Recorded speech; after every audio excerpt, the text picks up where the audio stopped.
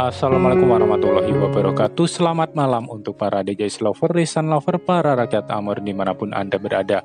Alur Cerita TV selalu hadir memberikan kabar-kabar terbaru seputar Rebong dan Sandrina. Malam hari ini Bang Mimin ingin memberikan kabar yang sangat-sangat mengejutkan ya para sahabat.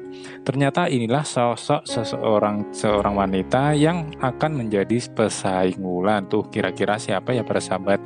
Namun sebelum kita kupas yang baru menemukan channel ini untuk dukungannya dengan cara like, comment, and subscribe-nya. Dan nyalakan notifikasi loncengnya agar tidak ketinggalan berita-berita terbaru lainnya. Terima kasih. Baiklah kabar pertama di sini Bang Mimin ingin mem memberikan kabar inilah reaksi para fan ya saat bertemu dengan idolanya yaitu babang ganteng kita yaitu Bapak Re ya para sahabat ya. Untuk kira-kira untuk para sahabat DC Lover kalau Bapak Re lewat di depan kalian gimana nih reaksinya? Re lewat cuma sekelebetan doang tapi auranya bintang banget ya pokoknya berdemek banget ya para sahabat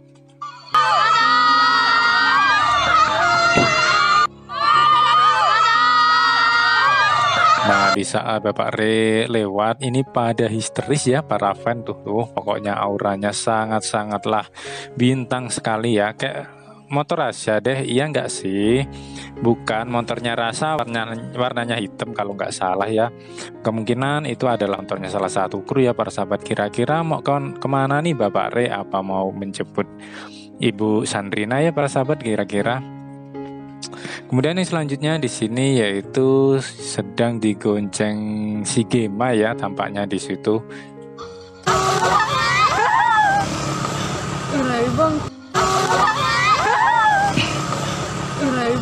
Nah, di situ terakhirnya ada kata-kata Raybong seperti itu ya. Mimin mau tanya gimana reaksi kalian kalau ada artis lewat di depan kalian. Kalau Mimin sih pasti jejeritan nggak karuan kayak di video ini ya. Siapa tuh Min? Gak jelas soalnya itu adalah Ria persahabat sedang digonceng ini ya si Gema. Nah, tampaknya tadi ada salah satu fan tadi ngomong di akhir itu rebong seperti itu ya. Auto pingsan apalagi yang lewat artis pemain DJs. Ah, mati gue langsung dikubur kayaknya. Sampai-sampai sesek nafas kayaknya. Duh, pokoknya para rakyat Amor ini tidak bisa mengalihkan pandangan sedikit pun dari Bapak Ri kita ini ya. Tuh, pokoknya berdemek sekali para sahabat ya. Semoga saja ini hari ini lancar selalu ya. Sampai hari esoknya di malam ini juga ya para sahabat. Kemudian yang selanjutnya di sini ini adalah sosok yaitu bakalan jadi pesaingnya si Wulan. Kira-kira siapa nih?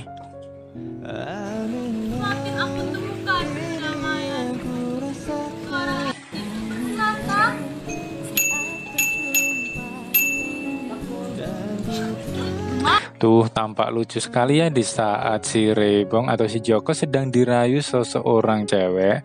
Si Wulan ini ngambek ya atau cemberut tuh tuh. Pokoknya bakalan seru ya dari jendela SMP nantinya akan ada pesaing Wulan atau dari pengganggu Wulan ini ya persahabat untuk menghadapkan hatinya si Joko tuh. Kira-kira Babang Joko ini bisa terayu nggak ya sampai dibacain puisi seperti itu loh.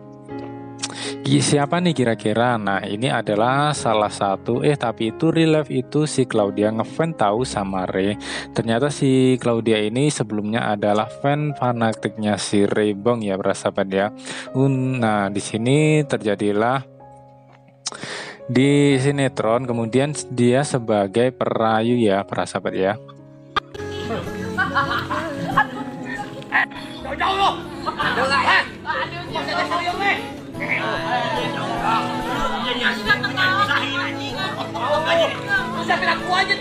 Tuh kata salah satu kru suruh jauh-jauh loh dari Rebong tuh tuh kok bisa seperti itu ya.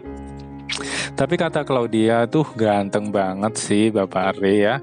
Apa ini nggak usah deketin Re kok Re sih. Hewek kawai please ini ngakak banget ya. Ini adalah salah satu ru atau beberapa kru ini ya para sahabat ya. Ternyata bilang seperti itu tuh. Pokoknya makin makin seru aja nih untuk next episode. Nah, makanya semua para DJ Rover harus nonton nih bakalan seru ada kejutan-kejutan yang akan dinantikan dari jendela SMP ya. By the way, by the, by the way siapa yang bilang jauh-jauh lo nggak usah deketin Re, nggak kedengaran, sorry. Di situ yang bilang seperti itu sepertinya Om Ucil ya para sahabat ya. Itu Om Icil adalah salah satu salah satu kru dari jendela SMP nih. Kru kayaknya bukan Gema ya kali suara Gema udah tua gitu para sahabat ya. Pokoknya makin seru seru aja kita harus nonton dari jendela SMP pukul 16.30 waktu Indonesia Barat. Mungkin sampai sini dulu yang bisa Bang Mimin sampaikan. Untuk kritik dan saran silahkan tuliskan di kolom